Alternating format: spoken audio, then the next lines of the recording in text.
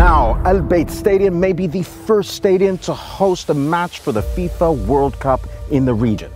But the true heart of the sports culture here in Qatar is Khalifa International Stadium.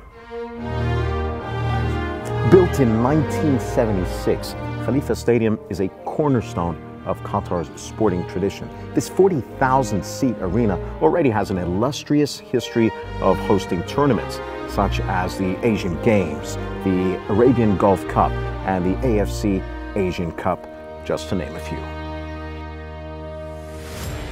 Following its redevelopment, the stadium was complemented with a wide canopy to help support the stadium's integration of a new cooling system an external facade as well as the implementation of a sustainable LED lighting system, all for a better fan experience. No matter where you go in the stadium, from the stands to the pitch, it's always kept at a cool temperature, regardless of the external temperatures.